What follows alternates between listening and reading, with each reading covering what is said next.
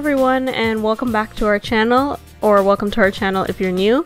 So in today's video we are making a cassava pone recipe. Now this is a very traditional West Indian dessert and um, we really want to bring it onto the channel for you guys, especially more traditional stuff. Um, I know we've been gone for quite a while. Um, we were having a lot of editing issues, but we're trying to get things back on track. I know I always say that, but we're to try our best to do regular videos for you guys, especially because we see a lot more people coming to the channel. So if you'd like to see how to make this dish, then please keep on watching. First thing we're going to start off with, of course, is the ingredients you'll need for this dish. It's very simple.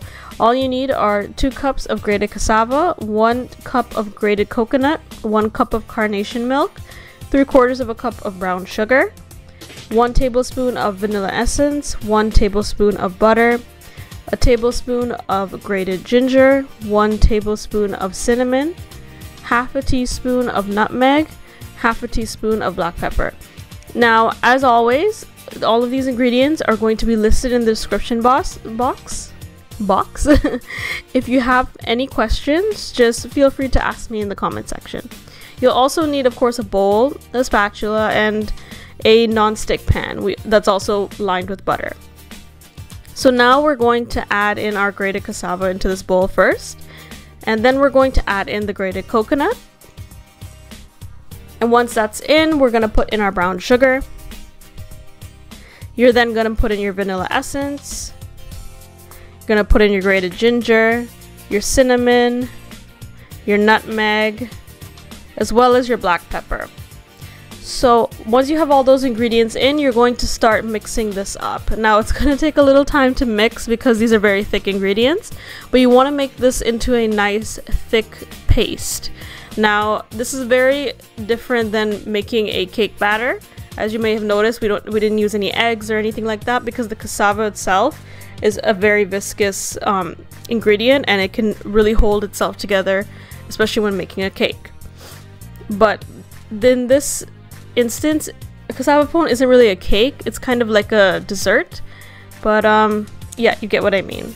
Right here, we're just adding in some carnation milk.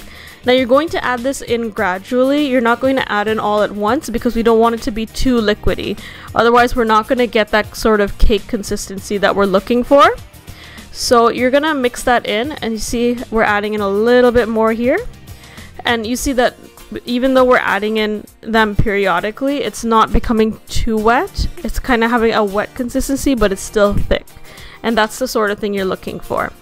Kind of like a dough, except a little bit more um, separated. So you're going to mix this all together, and once you're happy with the way it looks, then you're going to start putting it into your pan.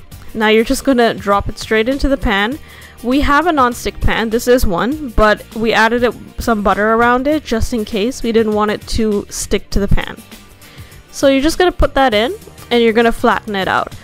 Now, we, we flattened ours out into a square shape. You can do any sort of shape that you'd like because it will adhere to itself and and it'll keep its shape.